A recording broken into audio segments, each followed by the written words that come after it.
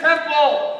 We thought you wanted Athena mad at us. No, no, we wanted her mad at the Trojans before they reinforced and counterattacked. Oh. Puppy, puppy. And then we ended up on the island of Cycadus, and what did I tell you there? You said have fun! Oh, no, I said we have to leave and resupply. And then we ended up on the island of the Lotus Eaters, and what did I tell you about Lotus? You said have fun! No, Lotus makes you lose your mind and desire to get home. It's a gateway drug, gang. Once you start taking Lotus, you start doing ambrosia. Yo, guys, who's got ambrosia? No one but the gods has ambrosia. Don't you get it? Any kind of drug is bad. Even ambrosia?